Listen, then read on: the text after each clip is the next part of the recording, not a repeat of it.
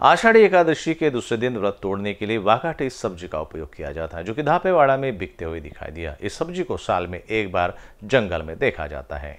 धापेवाड़ा में आषाढ़ी एकादशी के उपलक्ष्य में दर्शन के लिए भक्तों की भीड़ दिखाई दी। इस भीड़ में एक जंगली फल की बिक्री बड़े जोरों से चल रही थी। वो फल था वाघाटे। वाघाटे को खरीदने के लिए लोगों की भीड़ लगी थी। इस फल का एकादशी के दिन एक अलग महत्व है। एकादशी के व्रत को तोड़ने के लिए स्वयं पांडुरंग भगवान ने इस फल से उपवास तोड़ने की बात कही जाती है।